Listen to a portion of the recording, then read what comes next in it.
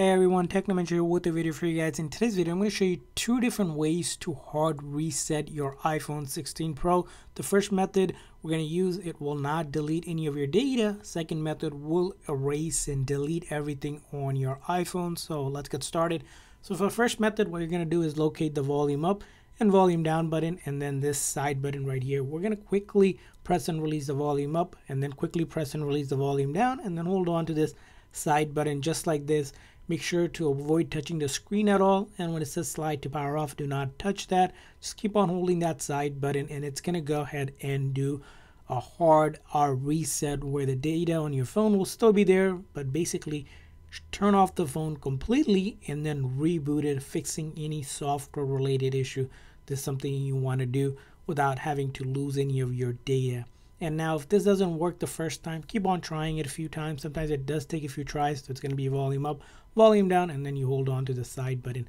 Now the second type of hard reset is a factory reset, which is going to delete everything on your phone. So before you consider doing it, I highly recommend doing an iCloud backup or backup to your computer, which we explain in another video if you want to keep your data, because once you do that, you cannot undo it unless you have a backup. So to do this, you're going to go into your settings and then go to general and then scroll all the way down here where it says transfer or reset iPhone.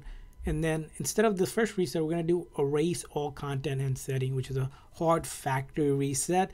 And it will tell you that it will remove all of the apps that you downloaded, all of your photos, videos, music, whatever you have on your phone will get erased. Even your iCloud account will get removed. All you're going to do is hit continue and then a message like this will pop up and then it will begin the process.